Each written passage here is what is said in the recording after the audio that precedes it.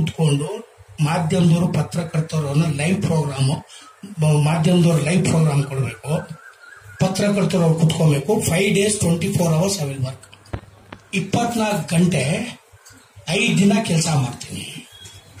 Without editing mute ಮಾಧ್ಯಮದವ್ರು ಹಾಕ್ಬೇಕು. ಅವತ್ತು ಉಚ್ಚಾ ವೆಂಕಟ್ ಎಷ್ಟು ಬುದ್ಧಿವಂತ ಅಂತ ತೋರಿಸ್ತಾನೆ ಓದ್ತಿ ಒಳ್ಳೆಯವನಾಗ್ತಾನೆ ಅನ್ನೋದಲ್ಲ. ಅವನು ಎಲ್ಲಿ ಇರ್ತಾ ಇದ್ದಾನೆ, ಆ ಜಾಗನ ಅರ್ಥ ಮಾಡ್ಕೋಬೇಕು. ಆ ಜಾಗದಲ್ಲಿ ಎಷ್ಟು ಜನ ಇದ್ದಾರೆ ಅವ್ರ ಕಷ್ಟಗಳು, ಅಲ್ಲಿ ಏನ್ ಇಂಪ್ರೂವ್ ಮಾಡಬೇಕು, ಏನ್ ಇಂಪ್ರೂವ್ ಆಗಿಲ್ಲ, ಏನ್ ಡೆವಲಪ್ ಮಾಡಬೇಕು, ಏನ್ ಡೆವಲಪ್ ಆಗಿಲ್ಲ ಅಂತ ಅರ್ಥ ಮಾಡ್ಕೊಂಡ್ರೆ ಸಾಕು. ಜನರ ಕೈ ಮುಗಿಯೋ ಅವಶ್ಯಕತೆ ಇಲ್ಲ. ಅಥವಾ ಜನರು ನಮ್ಮ ಕೈ ಮುಗಿಯೋ ಅವಶ್ಯಕತೆ ಇಲ್ಲ. ಯಾಕಂದ್ರೆ ನಮ್ಗೆ ಸಂಬಳ ಸಿಗುತ್ತೆ. ನಾಳೆ ಎಂ ಎಲ್ ಎ ನನ್ ಸಂಬಳ ಸಿಗಲ್ವಾ? ನಾನೇನು ಫ್ರೀಯಾಗಿ ಕೆಲಸ ಮಾಡ್ತೀನ? ಅಲ್ವಾ? ಜನ ಸಂಬಳ ಕೊಡ್ತಾವ್ರೆ. ಪ್ರತಿಯೊಬ್ಬ ರಾಜಕೀಯ ವ್ಯಕ್ತಿಗೂ ಅದೊಂದು ಮೈಂಡಲ್ಲಿ ಇಟ್ಕೊಮೆ ಯಾರೋ ಪುಕ್ಷತೆ ಕೆಲಸ ಮಾಡ್ತಾ ಇಲ್ಲ ರಾಜಕೀಯ ವ್ಯಕ್ತಿಗಳು. ಸೊ ನಿಮ್ಗೆಲ್ಲ, ಗಂಟು ಸ್ವಲ್ಪ ಪ್ರಾಬ್ಲಮ್ ಇದೆ. ಇದು, ನಿಮ್ಗೆಲ್ಲ ಒಂದು ವಿಷಯ ಹೇಳಕ್ ಇಷ್ಟಪಡ್ತೀನಿ. ತಮ್ಮ ಪ್ರೀತಿ, ತಮ್ಮ ಪ್ರೋತ್ಸಾಹ.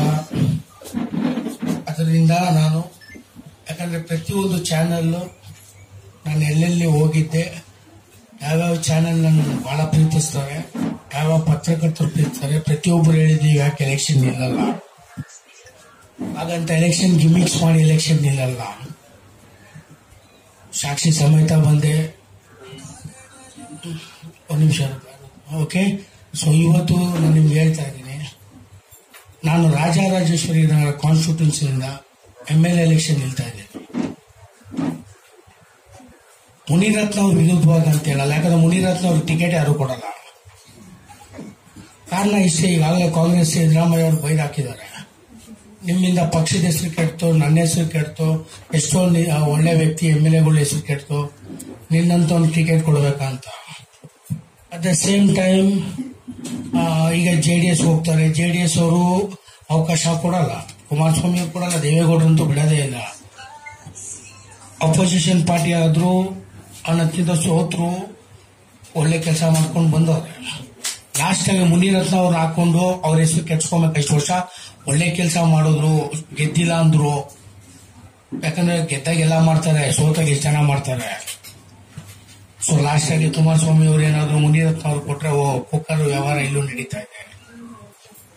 ನೆಕ್ಸ್ಟ್ ಯಡಿಯೂರಪ್ಪ ಅವ್ರ ಹತ್ರ ಹೋದ್ರೆ ಈಗಾಗಲೇ ಗೊತ್ತು ಬಿಜೆಪಿ ಇನ್ನು ಒಂದು ಹತ್ತು ವರ್ಷ ಬಿಜೆಪಿ ಇರೋದು ಸೆಂಟ್ರಲ್ ಅಲ್ಲಿ ಸ್ಟೇಟ್ ಕೂಡ ಬಿಜೆಪಿ ಬರೋ ಚಾನ್ಸಸ್ ಇದೆ ಅಥವಾ ಸಮ್ಮಿಶ್ರ ಸರ್ಕಾರ ಬರೋ ಚಾನ್ಸಸ್ ಇದೆ. ಸೊ ಯಡಿಯೂರಪ್ಪ ಅವ್ರಿಗೂ ಚೀಫ್ ಮಿನಿಸ್ಟರ್ ಆಗ ಅವಕಾಶಗಳಿದೆ ಮುನಿರತ್ನ ಅವ್ರನ್ನ ಹಾಕೊಂಡ್ರೆ ಟಿಕೆಟ್ ಕೊಟ್ರೆ ಮುನಿರತ್ನ ಅವ್ರಿಗೆ, ಯಡಿಯೂರಪ್ಪ ಅವ್ರಿಗೆ ಸೀಟ್ ಹೋಗುತ್ತೆ.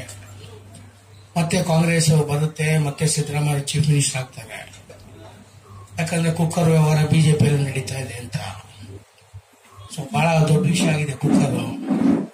ಬರೀ ಕುಕ್ಕರ್ ಬಂದಿದೆ, ಕಣ್ಣಿಗೆ ಕೆಲವ್ರಿಗೆ ಇನ್ನೂ ಸೀರೆಗಳು ಕೊಡ್ತಾ ಇದ್ದಾರೆ ಡ್ರಿಂಕ್ಸ್ ಕೊಡ್ತಾ ಇದ್ದಾರೆ.